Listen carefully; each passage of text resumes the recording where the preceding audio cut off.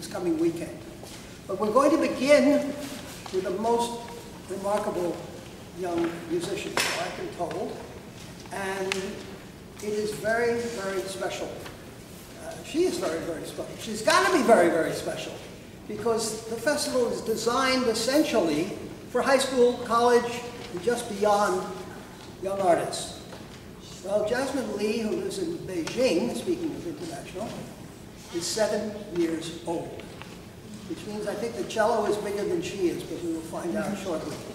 And she will start us off with the first movement of the Saint-Saëns Concerto, no less. So let's welcome Jasmine.